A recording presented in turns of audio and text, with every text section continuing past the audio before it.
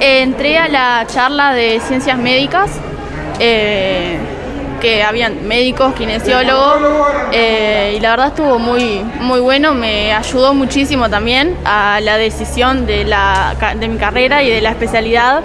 Eh, fue muy, muy bueno porque contaron sus experiencias y la verdad que me, me gustó mucho. ¿Ya tienes un interés por esa área o estabas simplemente viendo? Eh, yo quería estudiar medicina y me gustó mucho más eh, cuando habló de la médica y también la especialidad. ¿Te Me, generó más interés? Sí, mucho más interés. Hablando de, de su experiencia también, fue muy, muy lindo, la verdad.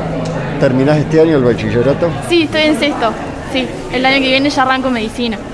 Agustín, bueno, contame eh, en qué actividad participaste. Bueno, participé en ciencias sociales eh, porque más o menos es por ahí por donde yo voy a ir y nada, eh, la verdad muy buena.